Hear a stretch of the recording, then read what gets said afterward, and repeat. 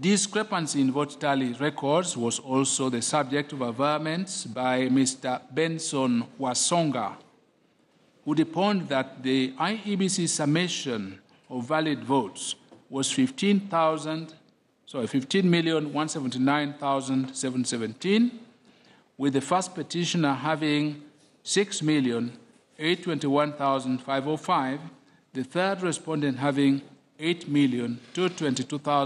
8,222,862, and the total rejected votes being 477,195, as compared to the IEBC portal showing as total votes cast 15,181,381. First petitioner's vote as 6,821,877. Third respondent's vote as 8,223,163 and rejected votes as 403,495. These figures, it was deponed, varied from the specific figures in Form 34C that were issued at the time of declaration of the third respondent as the leading candidate. Total valid votes as 15,114,622. First petitioner's votes as 6,762,224. Third respondent votes as 8,203,290. Total rejected votes as 81,685. The deponent deposed that the actual variation in the rejected votes as between the IEBC summation of the results and the display on the portal was 73,700 votes. And he averred that this differential amounted to violation of the electoral law to the prejudice of the presidential candidates other than the declared winner. The petitioners called two more witnesses, one of these being Mr. Mohamed Noor Bare from Mandera, and the other one being Mr. Ibrahim Mahmoud Ibrahim, who said that they had been excluded from the polling stations. We have to look at the respondent side.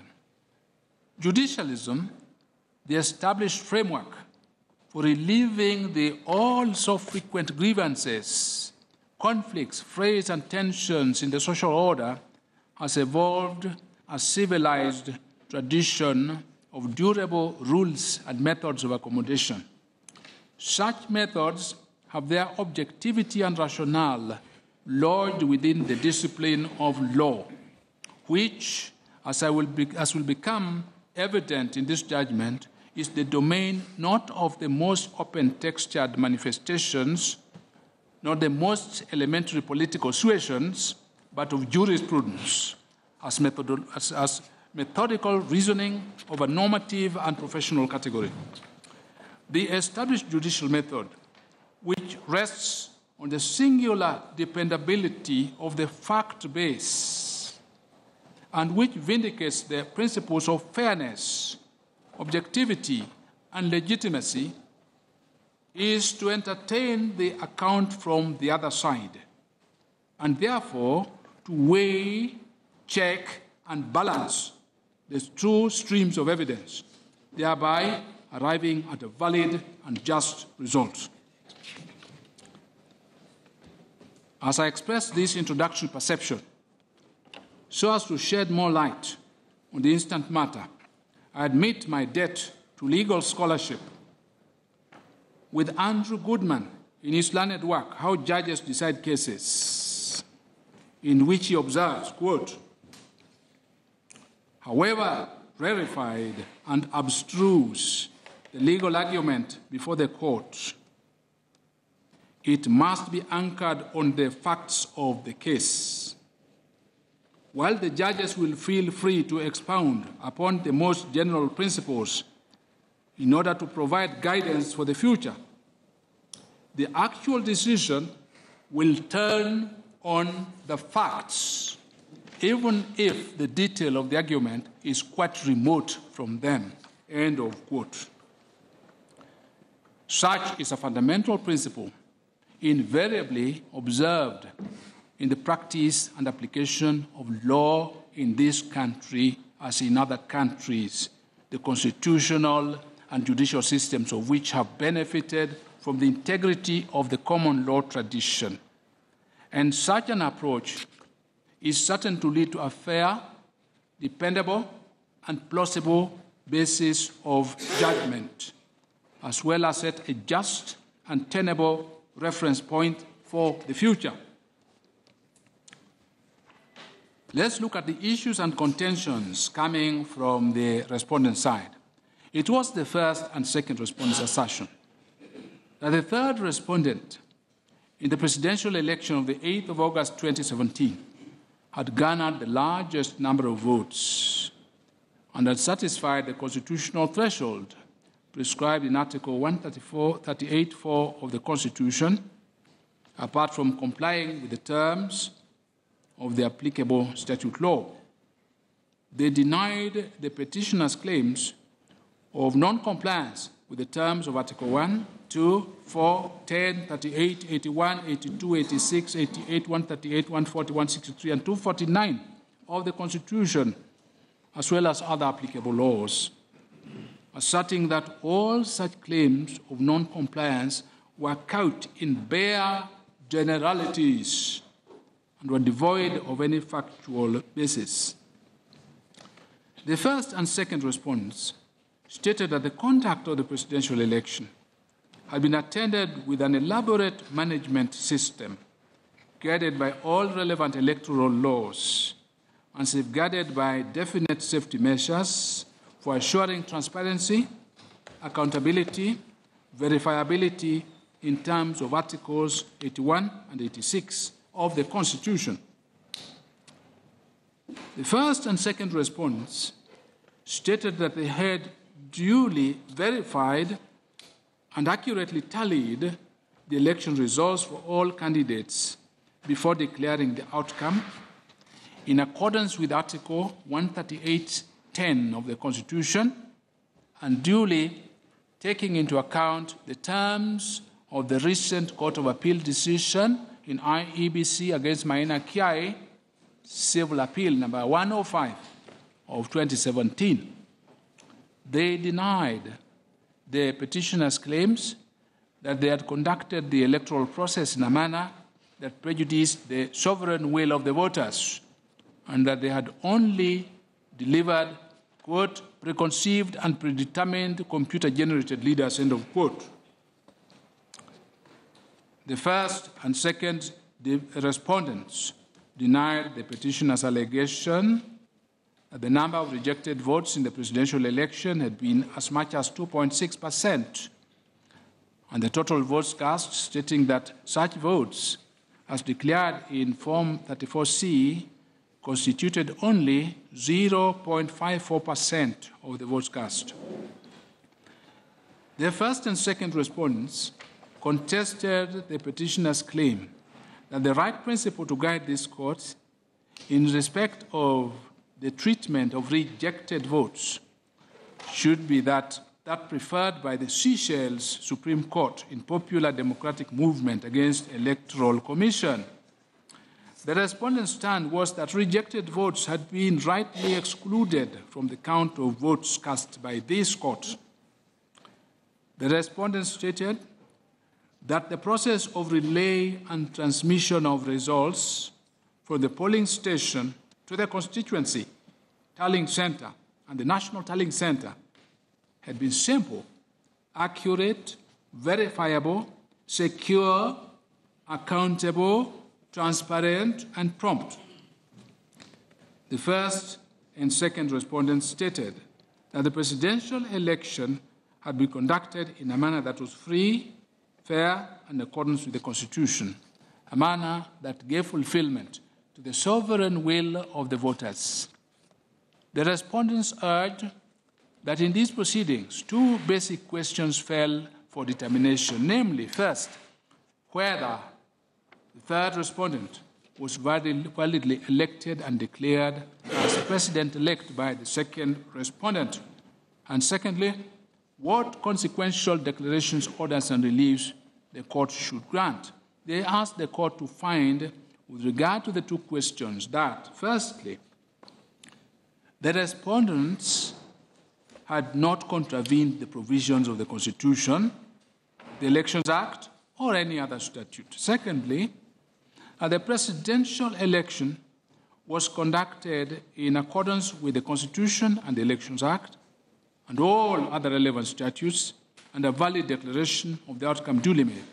Thirdly, that the third respondent was validly elected as the President of the Republic of Kenya. Fourthly, that the people of Kenya exercised their sovereign power of the vote and their decisions should be respected. Fifthly, that the petition lacks merit and should be dismissed. Sixthly, that the petitioners should bear the cost of the petition. Go through some of the evidential statements. The second respondent, in his affidavit sworn on the 24th of August 2017, deponed that he had been the returning officer for the presidential election of the 8th of August 2017. He averred that neither he nor the first respondent had any private stake in the election outcome, and they had been neutral referees, their sole mandate being to provide the electoral structure for the voters to exercise their sovereign will by electing leaders of their choice. The deponent averred that a tally of all the votes had shown Uhuru Kenyatta to have garnered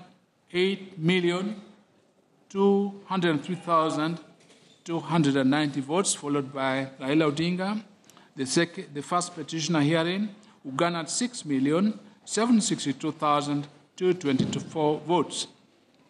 The declared results were expressed in Form 34C, which was itself abstracted from Forms 34B, forwarded to the National Tallying Center from the constituency tallying centers, as well as the diaspora vote tallies.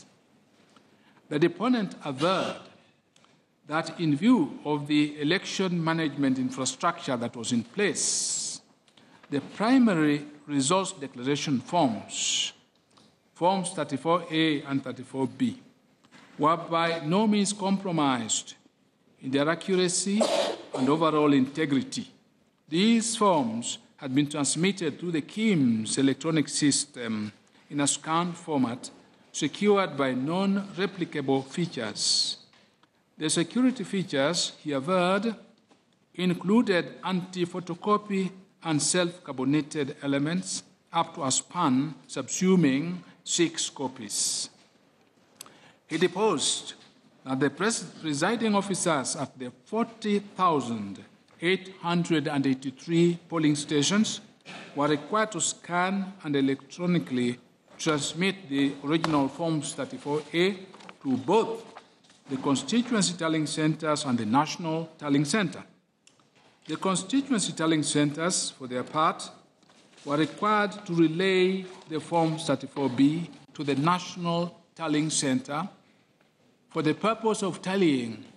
And so, for the presidential election, the results could be verified by reconciling the figures in Forms 34A.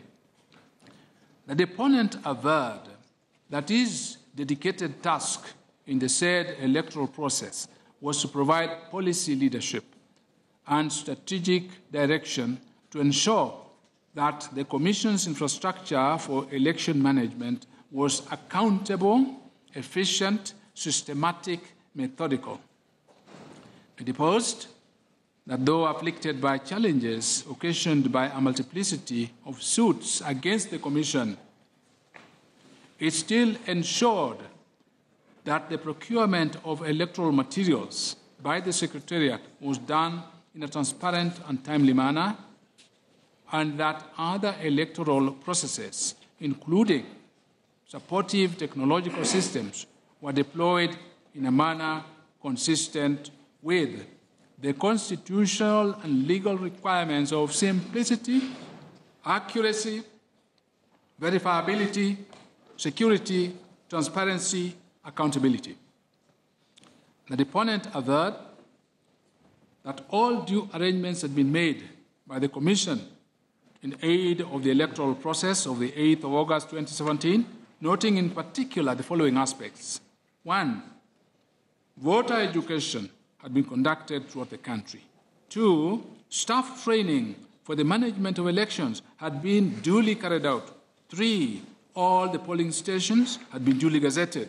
Four, the register of voters had been duly audited and uploaded in the Commission's website, and hard copies printed and posted at conspicuous sites at each polling station.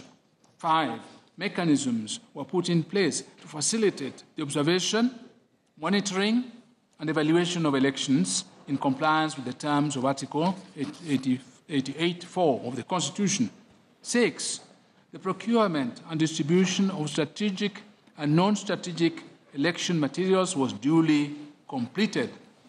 Seven, as required by Article 10 of the Constitution, the Commission had held many consultative meetings with key stakeholders, including, quite significantly, political parties, to update them on the progress made on all fronts in relation to the 8th of August 2017 elections.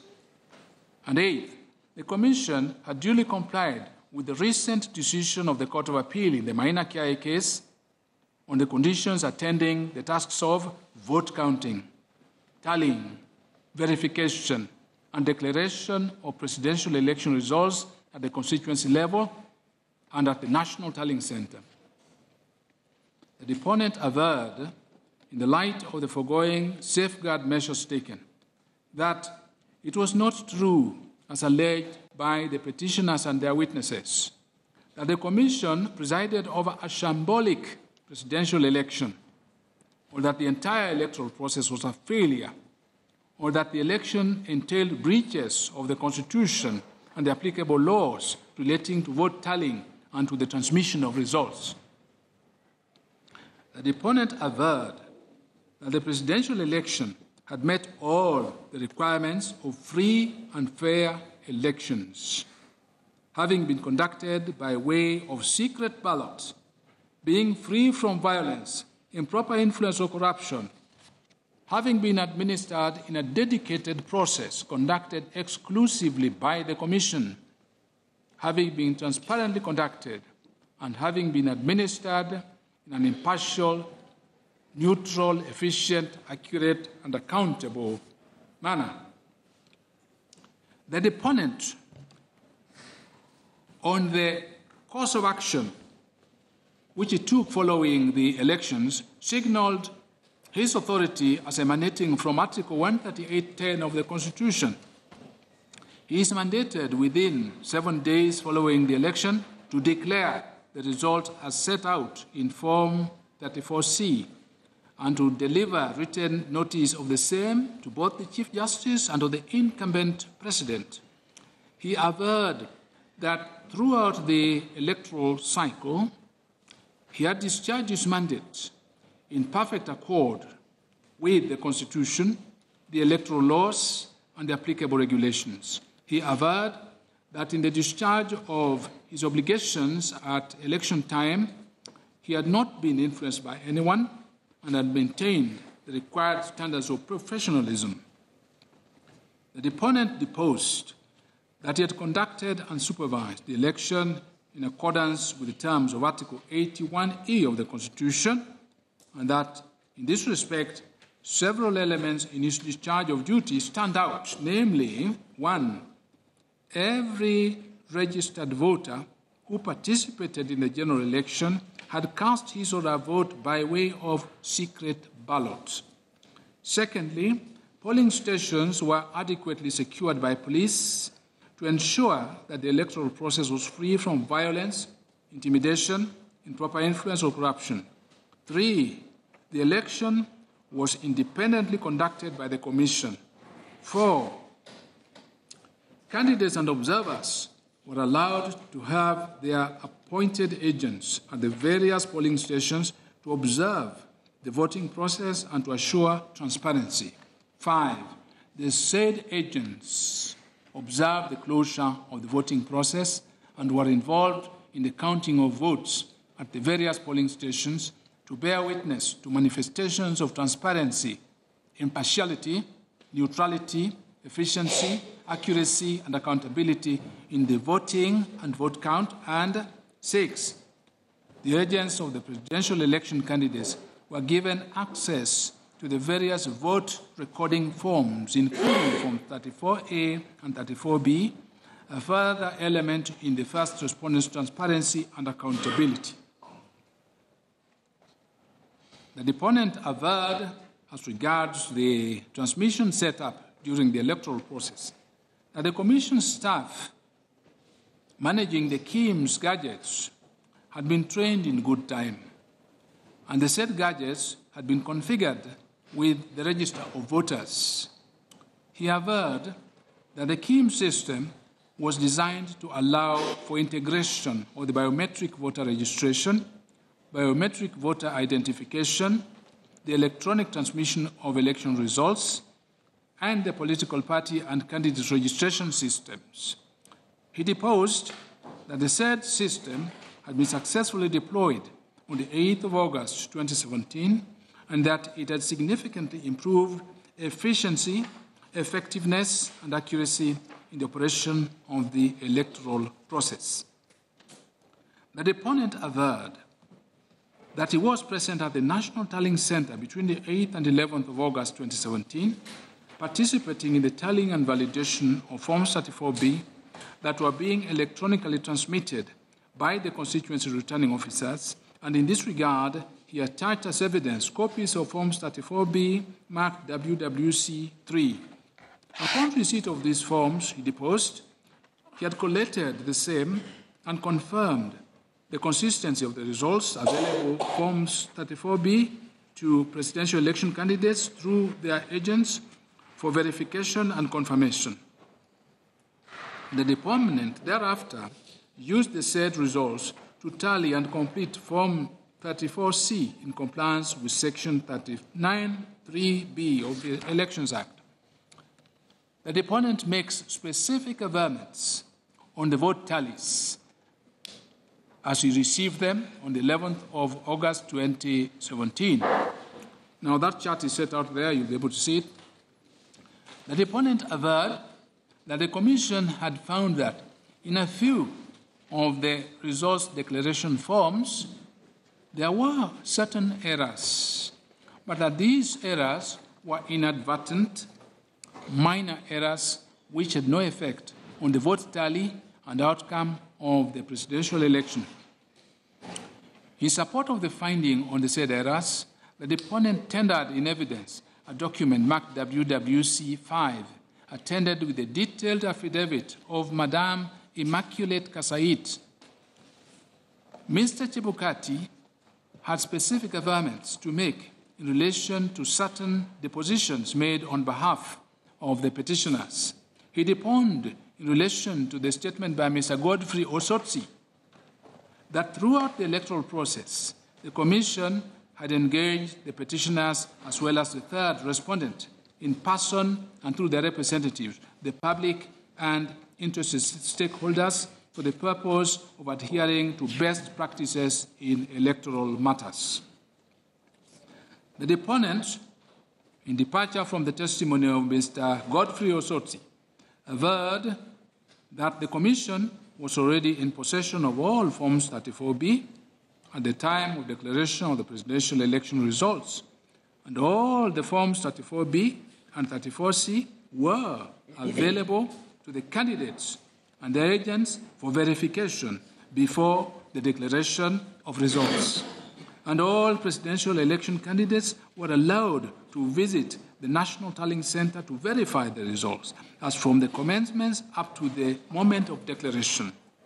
He averred that he personally chaired many consultative meetings with the petitioner's agents. Never any issues of concern had been raised, even though, for an explained cause, the petitioner's agents had decided to depart from the National Tallying Center just prior to the declaration of results. In response to the first petitioner's claim of procedural flaws, illegalities, and irregularities in the collation, tallying, verification, and transmission of presidential election results, the deponent averred that tallying as conducted by the Commission was in compliance with Articles 81E and 86 of the Constitution, as read with Section 39 of the Elections Act. And he deponed that at every forum of resource processing, the petitioners were allowed to have their agents to confirm the tallying, the announcement, and declaration of results. He averred as well that the electronic system of transmission of results was secure, prompt, verifiable, and efficient. He deponed that all the results declaration forms had been subject to verification by the candidates' agents and their representatives, and immediately thereafter forwarded to the National Tallying Center. The deponent further averred that the first petitioner had deposed that he had been given access to the Form 34B through his agents, and thus the charge of lack of transparency and accountability in the tallying process was short on veracity.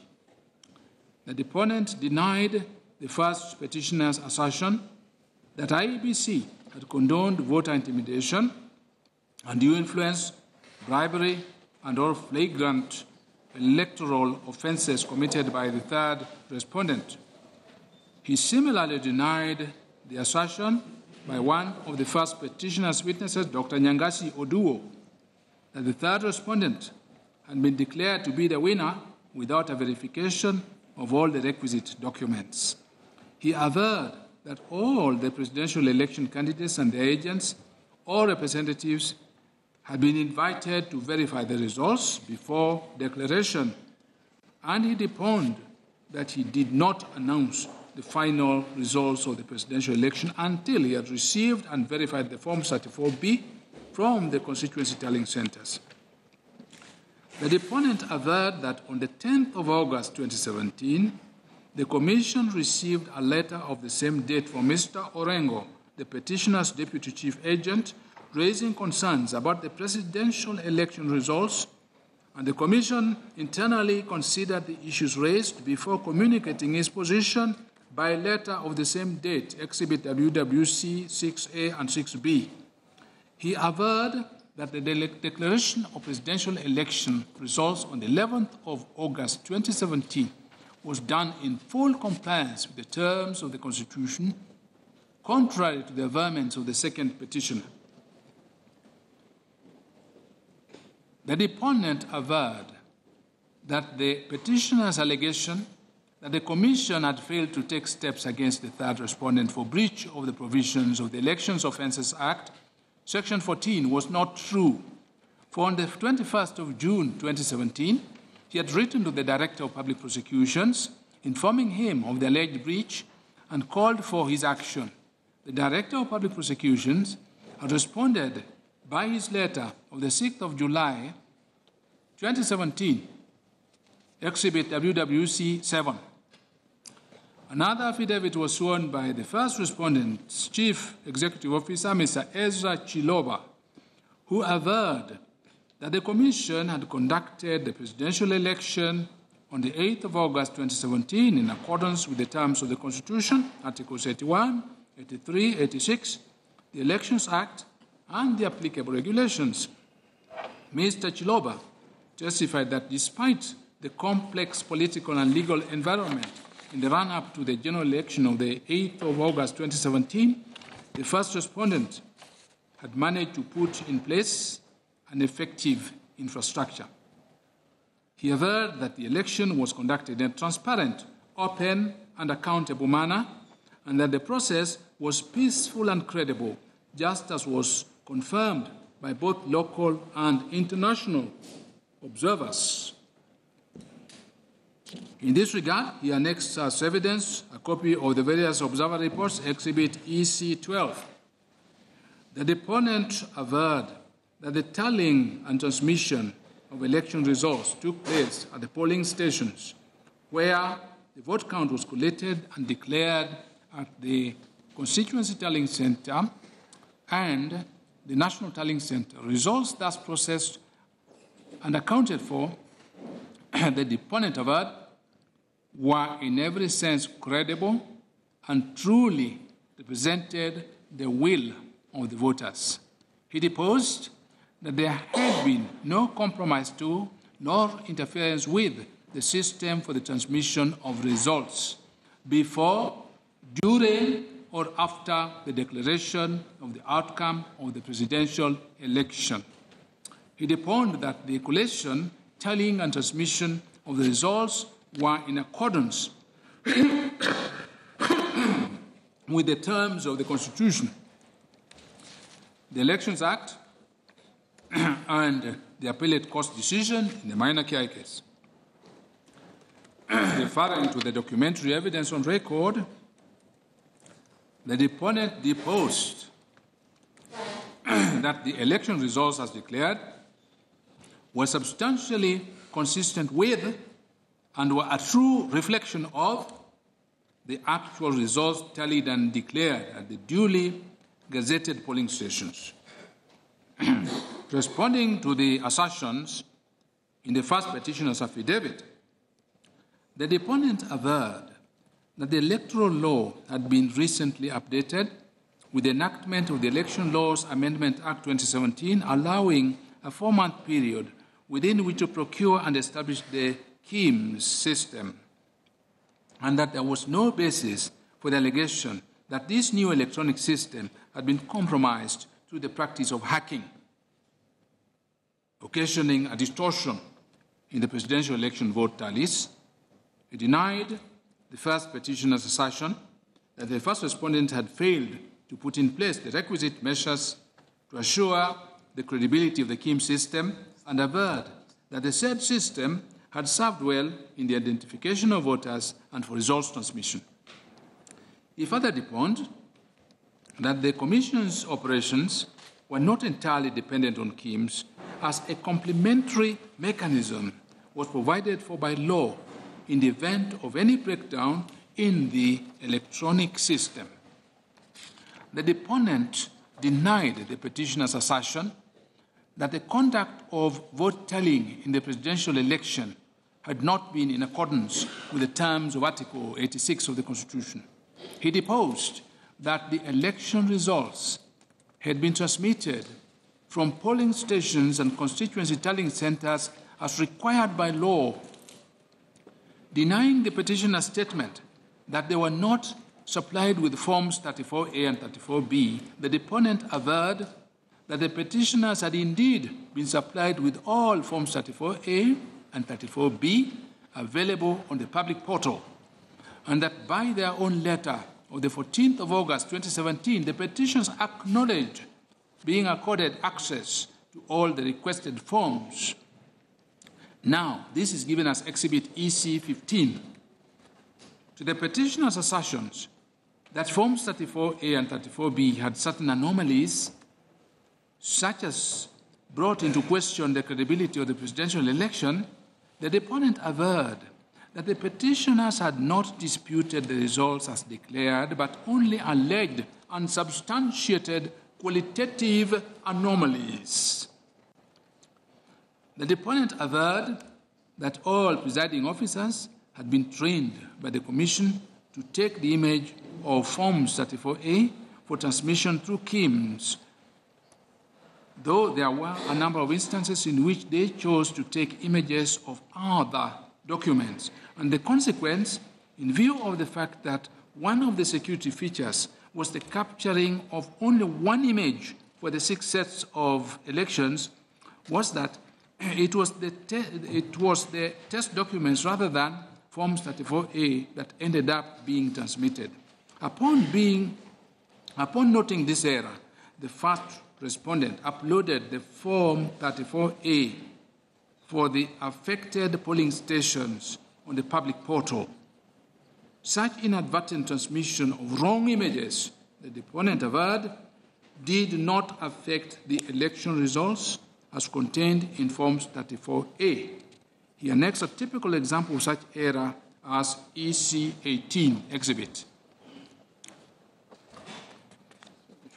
Responding to the petitioner's affidavit sworn by Miss April Oichoe, the deponent averred that the assertions made under the rubric, quote, the, travest, the travesty that was the electoral process in Kenya 2017, end of quote, did not give a true account.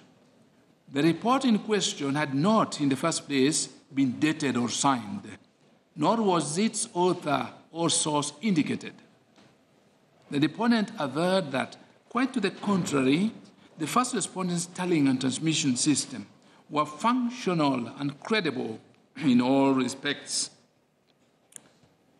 In response to the affidavit of Mr. Benson Wasonga, the deponent averred that the election results from each polling station were contained in Forms 34A, and the results declaration for the presidential election was made on the basis of results contained in Forms 34B from 290 constituencies and the diaspora.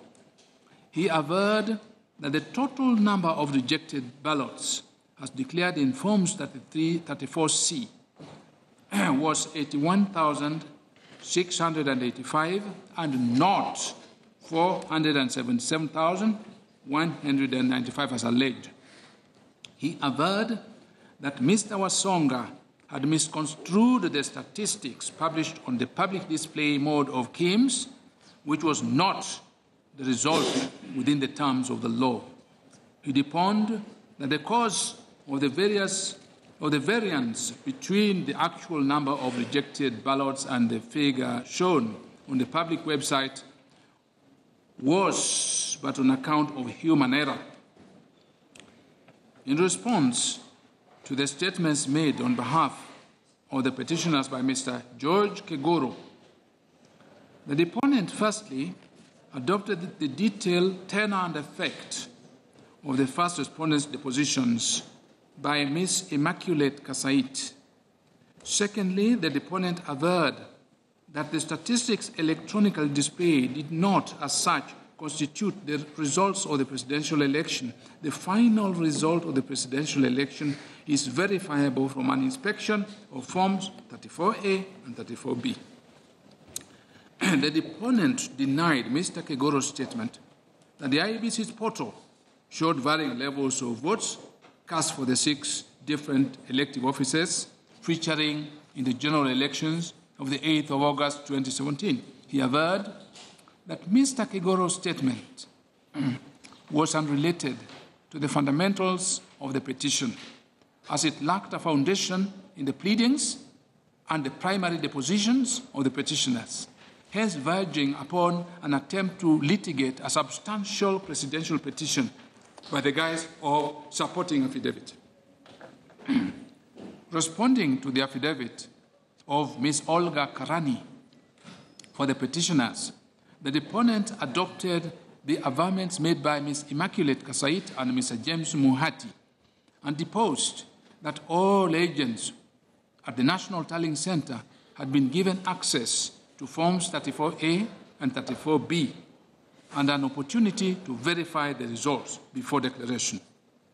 The deponent averred that the presidential election of the 8th of August 2017 was conducted in accordance with the Constitution and the electoral laws, and that the process was free, fair, and credible.